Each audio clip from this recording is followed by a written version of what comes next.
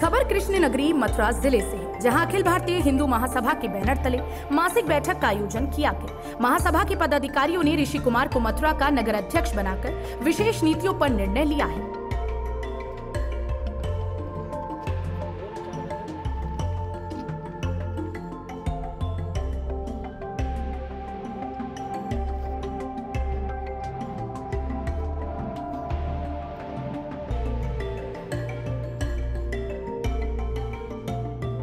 आपको बता दें कि अखिल भारतीय हिंदू महासभा की जिला अध्यक्ष छाया गौतम ने दोनों नव नियुक्तियों की उज्जवल भविष्य की कामना की और दोनों नगर अध्यक्षों को संगठन एवं समाज के लिए सहयोग प्रदान करने के लिए प्रेरित किया और उन्होंने कहा कि अखिल भारतीय हिंदू महासभा समय समय पर हिंदुओं के हित में कार्य करती रहेगी।